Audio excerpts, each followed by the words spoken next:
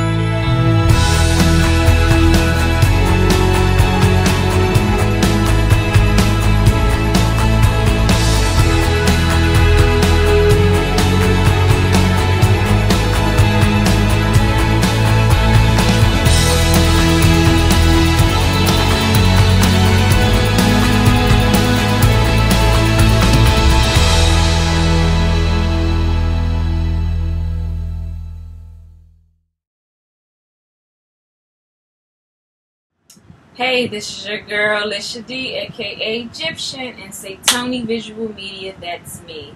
I'm here with you with another episode of A Journey Come True, where dream, dream chasers go to explore all the things they love to do.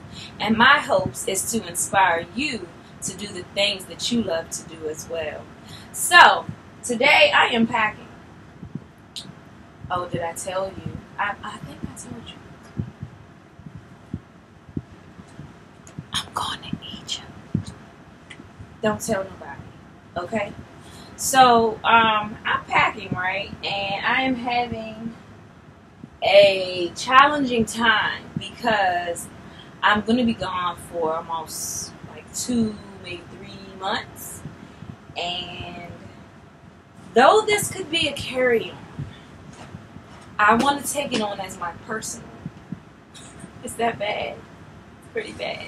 And I have one other suitcase that's just a little bit taller than this one that I wanted to put my clothes in. So the things that I'm putting in here are like like my um, arts and crafts and my camera equipment and um, my toiletries. And then my other suitcase will have my underclothes, my regular clothes, um, socks, you know, things of that nature.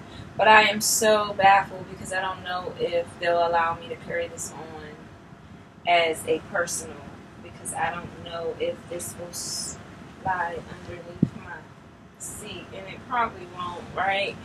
When in doubt, leave it out. So I'm having issues in trying to figure this out because I have a lot that I want to take with but it's not a lot. Like I have my clothes, but then, and it's not even a want. Like I even have a bag. Of, oops.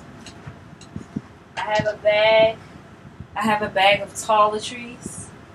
You know, just like off and um, soaps and hand, not hand sanitizer, but um, what is that? Um, what is it? You guys know sunscreen. I'm like, yeah, sunscreen. So I have that.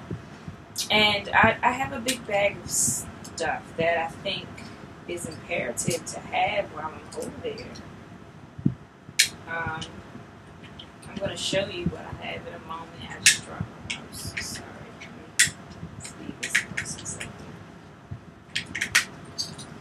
Time is moving. It's 5.04 right now. Today is July 24th, and I leave on July 29th. So, this big old bag right here, can you see it? I'm trying not to take it all out, but this bag here, and it just pretty much has everything in it.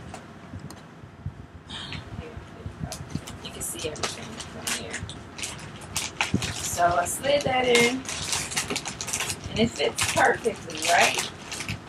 Put this right in there. It's pretty perfect.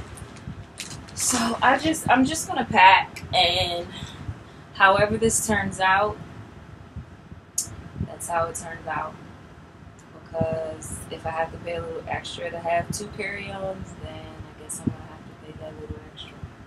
So that I'll I'm gonna um, tune back in for for you to see how I pack this. So stay tuned for that. And once I get to the airport, we'll see how that all goes. So I'm doing a quick tutorial.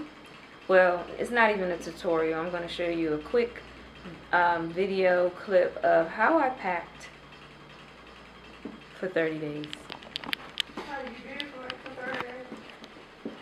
Oh, disregard the sound effects in the background.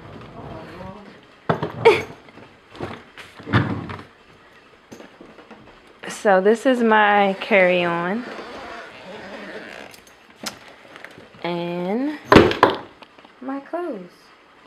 So I put everything in Ziploc bags and just literally squeeze the air out on my own.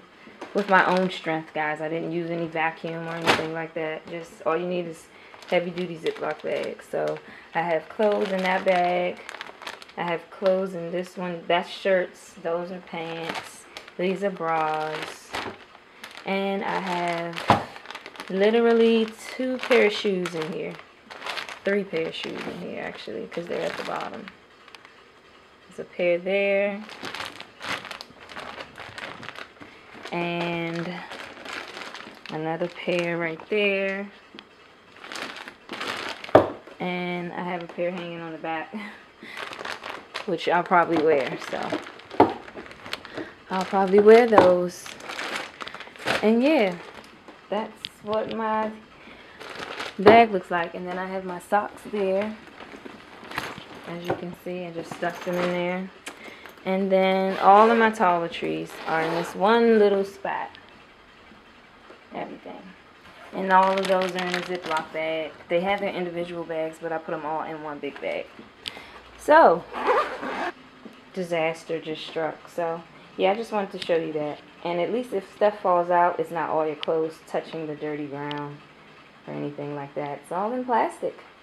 Alright, this is your girl, Lisha D, aka Egyptian That's Me, with another quick episode of A Journey Come True.